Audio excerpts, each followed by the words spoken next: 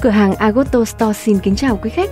Địa chỉ ngõ cây xăng đối diện số 742 Đê La Thành, Ba Đình, Hà Nội.